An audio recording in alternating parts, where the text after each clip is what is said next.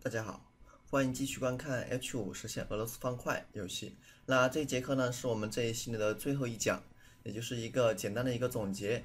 那在这个总结里面的话，我们主要去做了解哪些东西呢？第一个是我们学习了什么，第二个呢是实现了什么东西，第三个呢是抛砖引玉，了解了什么更多的东西，第四个呢是致谢。好，我们来回顾一下我们学习了什么。我们整个课程的话是根据这用这个 Canvas 原生的 Canvas 来实现了一个比较简单的一个俄罗斯方块的这样一个游戏。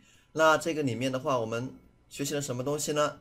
第一个呢是 Canvas 的一个简单的一个操作。第二个呢是我们我们看着代码来。第二个呢是我们怎么呢？一个代码的一个结构和它的一个分类。你看一下，我们把整个的一个项目分成了这么多个小文件，然后每个文件里面只做自己应该做的一个事情，比较小的一个事情。那这样子的话是比较利于维护的。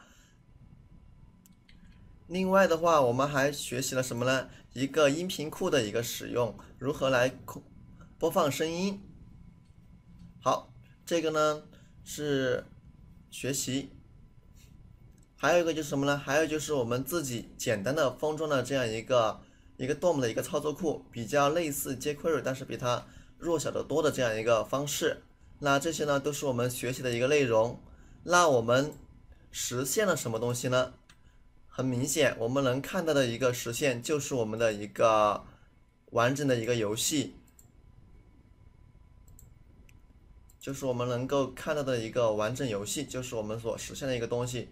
这里面呢包含一个开始界面，然后呢就是我们真正的一个游戏的一个内容，比如说下一方块，然后下落边这个边缘的一个检测，然后游戏中断、游戏结束的这样一些控制，那这些呢就是我们所实现的一个东西。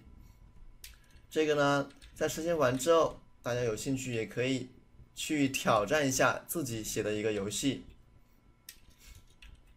好，这个呢就是我们所实现的一个东西。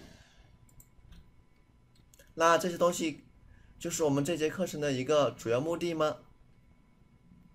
然而并不是啊，在这个课程里面的话，我们更多的是希望大家能够以这个为基础，然后去发散，去开发自己所想要的一个游戏。比如说我们的这个贪吃蛇之类的游戏都是可以去做的。所以呢，这也仅仅是一个引子，然后只是让大家了解如何来开发一个完整的一个游戏。